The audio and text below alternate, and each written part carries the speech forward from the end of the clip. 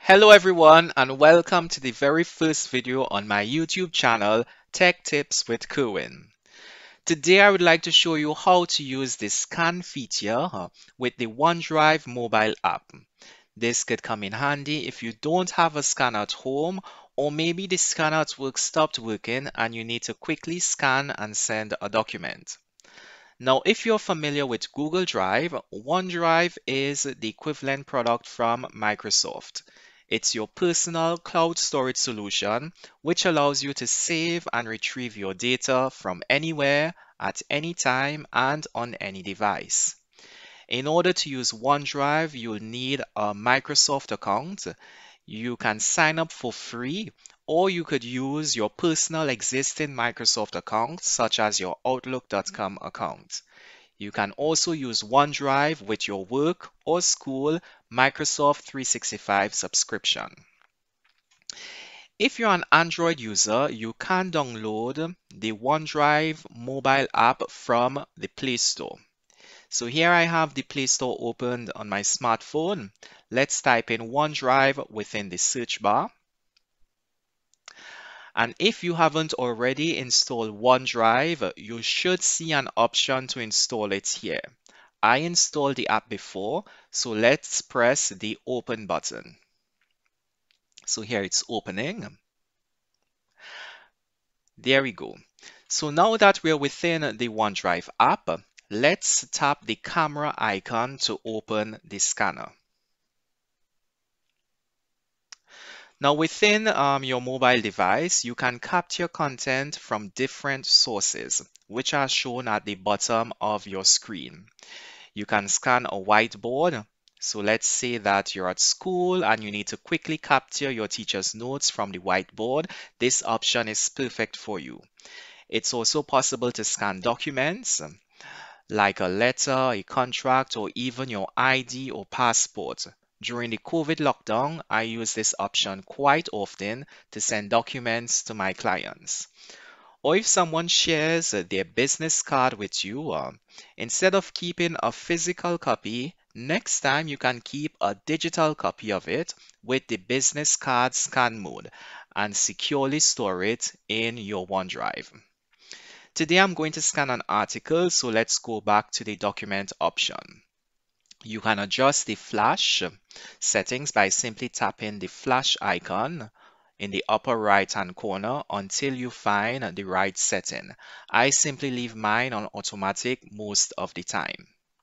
So here is the article I'm going to scan today. Okay, we need to align the blue box with the edges of our document. Okay, like that. Once you are satisfied, press the scan button.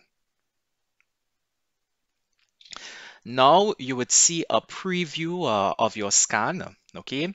Press the confirm button so that we can start editing it, like that.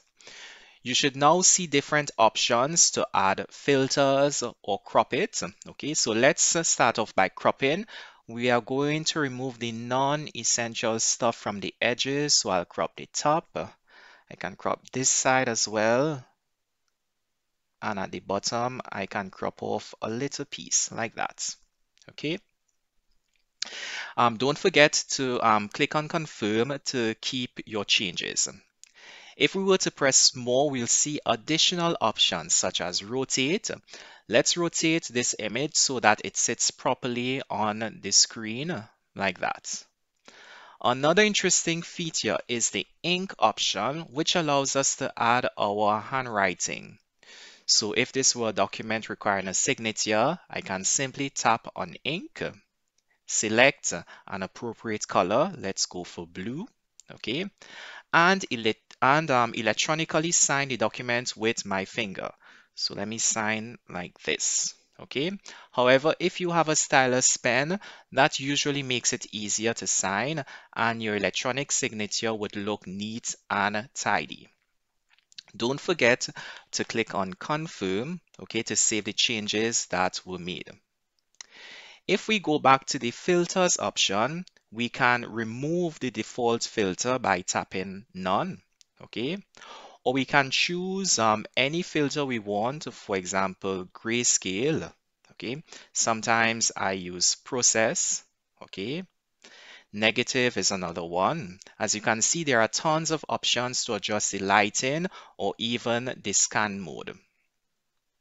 To exit the filters, simply tap elsewhere on your screen. Another great feature is that OneDrive allows multi-page scanning. That means that you can combine multiple scans into a single PDF. To use that option, simply tap Add, okay? And then scan your next document using the same procedure I just showed you. The maximum number of pages for multi-page scanning is 30. This is great especially for scanning contracts with several pages.